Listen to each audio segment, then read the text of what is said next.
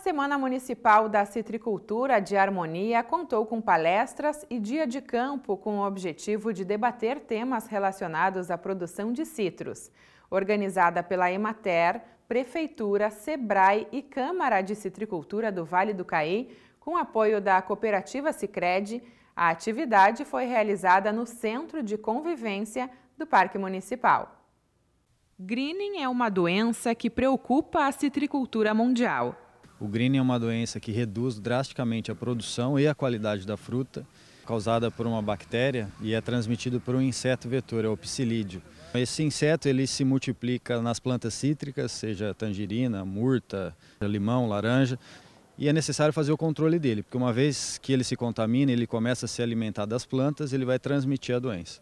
A doença está presente nos continentes asiático, africano e americano.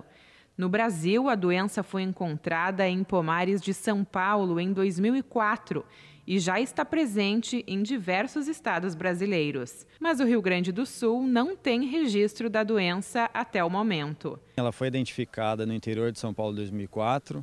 É, o ano passado foi identificada em Santa Catarina, que no Rio Grande do Sul ainda não existem relatos mas também foi identificada na Argentina e no Uruguai. Então, o Rio Grande do Sul está cercado por todos os lados já de localidades onde tem registro da doença. A gente vai conversar hoje aqui no treinamento bastante também a respeito de sintomas, tanto da doença quanto também como identificar o inseto. Então, o pessoal vai sair daqui é, preparado para, se houver no campo, saber identificar. Para que a doença não chegue no estado, diversas ações estão sendo tomadas. A Secretaria da Agricultura ela faz o monitoramento dos pomares, né? Para ver se a gente encontra os sintomas do, do greening ou a presença do, do vetor, que é a diaforina também. E em caso de, de, plantas que a gente tem, uh, uh, que a gente acha que está um sintoma, né? A gente coleta e manda para o laboratório. Então é feita uma análise, né? E até hoje todas as amostras que a gente mandou, todas negativas. Uh, a gente faz também a fiscalização do, do trânsito de material vegetal que está entrando no estado, né, tanto de mudas quanto de, de frutas. E as palestras, né, as ações de educação sanitária, de chamar a atenção né, do, do, do pessoal, tanto dos produtores quanto do, do pessoal da cidade também, que tem muita gente que tem pomar doméstico, né? Uh, então, alertar que existe essa doença, que ela é, é, é, muito perigosa. A gente até brinca né, que o Rio Grande do Sul está como uma ilha, né? E eu espero que continue assim, que essa doença não entre aqui no estado, talvez por causa das condições climáticas, né? a, a, a ausência do vetor também. Então, a gente alerta uh, para o pessoal não trazer muda de fora do estado, né? Se for trazer muda de citros que sejam de pomares uh, certificados, que tenham um laudo dizendo que aquela, que aquela muda ela é isenta do greening, né? E se encontrar alguma planta com sintoma, entrar em contato ou com a Emater ou com a Secretaria da Agricultura para que a gente possa tomar uma medida rápida. O assunto foi discutido durante a Semana Municipal da Citricultura de Harmonia, que contou com palestras e dia de campo. É, pois esse evento vem sendo construído, na verdade, foi construído a diversas mãos, né? Para a gente trabalhar então dois assuntos principais, né? Um que é a questão do greening, né? Então a primeira palestra é vendo a, a visão de São Paulo, que o greening já é presente. No segundo momento vai falar da política pública estadual, né? No, no controle e combate ao, ao greening, para ele efetivamente não entrar, né? No estado do Rio Grande do Sul. E por último, nosso colega Marcelo Brandoli vai falar um pouco sobre reservação de água e irrigação, né? É, dentro dessa proposta.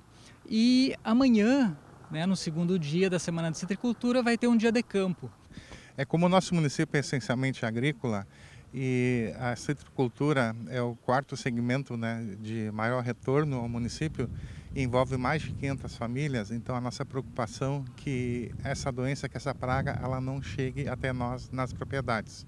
Então, com esse intuito, a gente está promovendo esse seminário, trazendo inclusive né, palestrantes de fora de São Paulo, onde hoje já se mostra a realidade, o que, que é a doença, e prevenindo então né, para que essa doença não chegue até nós. A gente convidou representantes da Câmara da Citricultura, cooperativas, né, Ecocitros, a Cooperfrutas, que é uma cooperativa local, demais secretários aqui da região, autoridades. Então envolve todo o segmento, inclusive também da defesa sanitária do estado. E um pedido que a gente até faz, né, que se promova mais fiscalizações no tempo integral, não somente né, em horários, que então hoje é falta de contingente para que a gente possa fiscalizar essa fruta que vem de fora com cabo, com cabinho, né, e com folhas, é, que isso seria né, um impedimento para essa doença não entrar para a nossa região. Sabemos a importância que, que este setor tem para o nosso estado e também a importância que tem os, os produtores se qualificarem para combater uma doença que, que vem há, há um bom tempo já assolando este setor. É, e que bom que o município, que a Imater está presente neste evento, trazendo aí conhecimento, trazendo técnicos que venham falar do quanto isto é importante, de quanto isto pode gerar mais renda ao fazer os tratamentos adequados em seus pomares. Eu sempre digo que os dias de campo têm essa, eh, esse papel importante que é levar o conhecimento, que é a troca de, de, informações, que é a troca de experiência entre os produtores, entre os técnicos, entre os fornecedores de insumos. Né? Eh, então isso realmente vem de encontro àquilo que o nosso produtor precisa, que é conhecimento, que é técnicas de como se prevenir, porque você ter a prevenção é muito melhor do que depois você ter que entrar com um tratamento, com algo mais pesado nos, nos seus pomares. Outro tema debatido no evento foi os usos da água na propriedade, reservação e irrigação, ministrada pelo engenheiro agrônomo da Emater, Marcelo Brandoli.